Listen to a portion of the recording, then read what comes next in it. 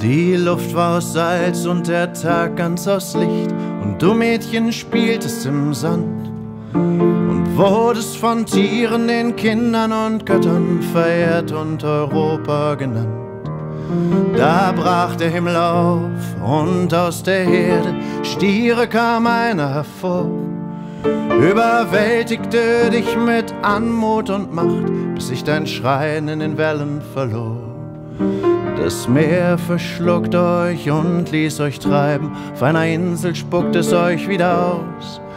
Du lerntest die Bestie zu lieben und sie schenkte dir dafür das Land, den Wind und ein Haus.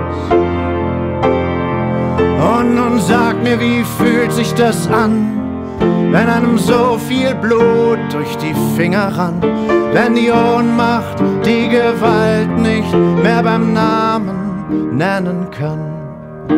Europa, wie fühlt sich das an?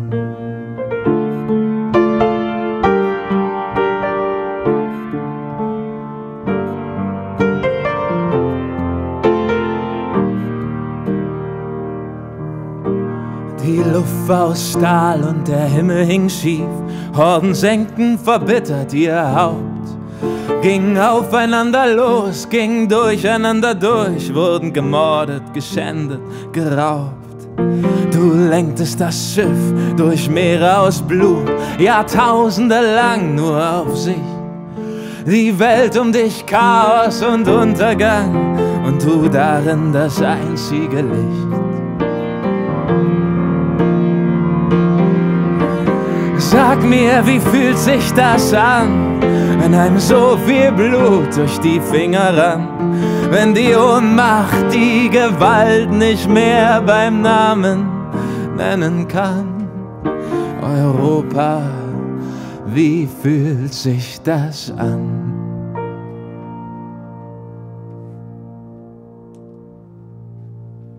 Guck mich an.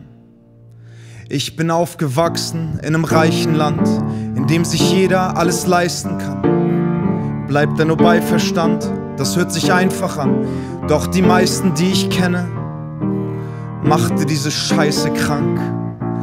In tausend Jahren wird man sagen, es gab mal einen Ort, da konnte jeder alles haben. Selbst die Junkies auf den Straßen hatten was im Magen.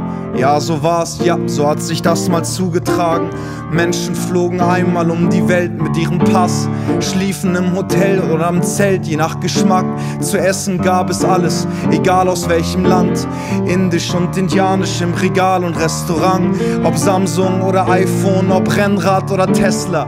Alles auf Kredit zu 0% bei jedem Händler. Die Natur wurde untertan, kein Tier war mehr sicher. Der Dschungel war besiegt und wir waren die Gewinner.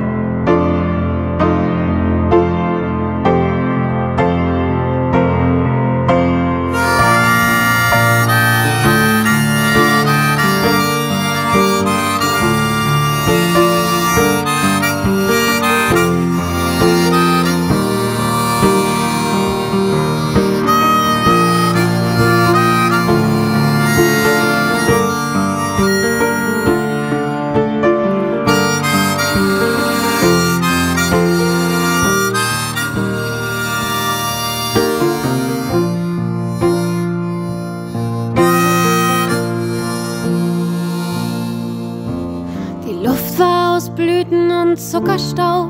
Das bisschen Gold fiel nicht mehr ins Gewicht. Die Früchte des Reichtums fielen nicht weit vom Stamm und zogen gegen das Volk vor Gericht. Bald hatten sie euch alles abgeschwatzt, verhökert und aberkannt. Dabei hattest du für dein Glück nie mehr benötigt als das Licht und die Luft. Und ein bisschen Land.